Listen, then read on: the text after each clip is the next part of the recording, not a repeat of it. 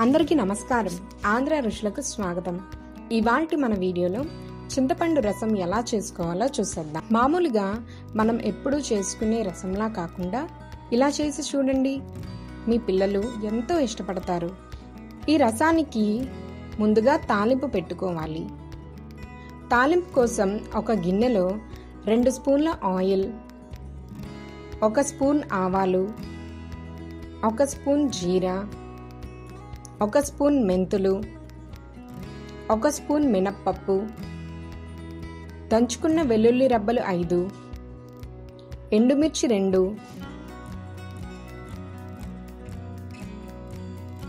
కరివేపాకు మూడు రెమ్మలు వేసుకొని చిటిపట్లాడేంత వరకు ఫ్రై చేసుకోండి.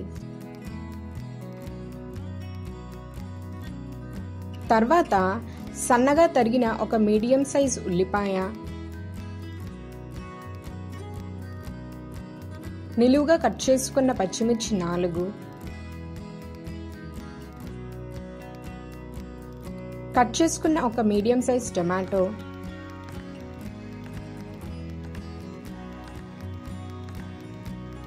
తగినంత ఉప్పు.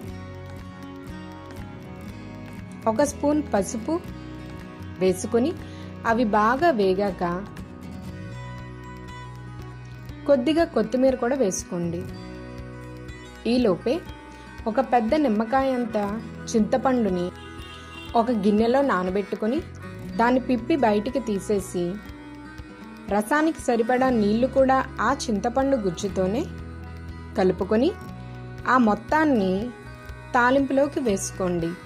ఇప్పుడు స్టవ్ని మీడియం ఫ్లేమ్లో ఉంచి ఒక పది నిమిషాల పాటు తాలింపు అలాగే వేసుకున్న ఆనియన్స్ టమాటో ముక్కలు పైకి కెర్లేలా బాగా మరగనివ్వాలి. చివరగా ఒక స్పూన్ రసం పొడి కూడా వేసుకుంటే రసానికి మంచి ఫ్లేవర్ యాడ్ అవుతుంది. రసంలో కొంచెం బెల్లం కూడా వేసుకుంటే రుచి బాగా తెలుస్తుంది. ఇలా ఒక ఐదు నిమిషాలు బాయిల్ అవ్వనివ్వండి. చిన్న టిప్ ఏంటంటే రసం పొంగకుండా చూసుకోండి. లేదంటే టేస్ట్ పోతుంది. ఇలా చేసి చూడండి. మీ పిల్లలు ఇంకా ఫ్యామిలీ మెంబర్స్ మళ్ళీ మళ్ళీ చేయమని అడుగుతారు. అంతేనండి ఎంతో టేస్టీ చింతపండు రసం రెడీ అయిపోతుంది. మరింకెందుకు ఆలస్యం? ట్రై చేయండి. అలాగే ఎలా ఉందో తప్పకుండా కమెంట్ చేయండి.